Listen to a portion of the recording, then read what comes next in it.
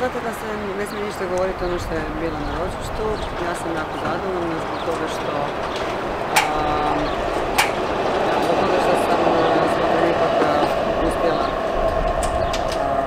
dobiti e, riječ u više navrata i uspjela sam nešto pitati.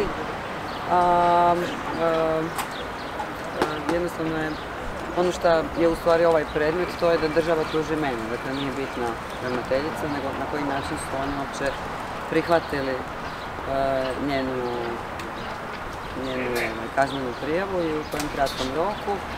I moram reći da država na ovakvim, e, e, mogu reći, minornim slučajevima, gdje se utjecalo i na ministra Božinovića i na ostale, da jednostavno troši novce na ovakvim minornim slučajevima poreznih obveznika. Naime, to što ovo država tuži, oni to i, i troše novce poreznih obveznika i to je ono što je, što je strašno. Mislim da ću ja dokazati svoju neminost i da sve ono što je izašlo u medijama u vezi ovih poruka, da je to sve izašlo, da su to sve poruke koje su bile naknadno u jer, me se tužilo puno ranije gdje nije imalo straha i ovo je jednostavno, znači moja kaznena prijava koja je data u istom roku nije još niti u proceduri, niti su je prihvatili, niti odbacili.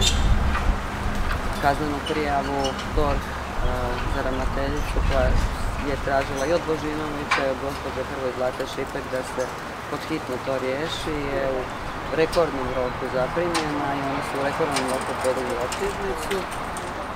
I to je pitanje zašto nisu moju optužnicu uopće uzeli u razmatranje, gdje je ona za sve ono što je ona radila. I ovdje se ne radi o njenom strahu, kako ona navodi za njen život, ovdje se radi o njenom strahu da zaustavi sve ono što je radila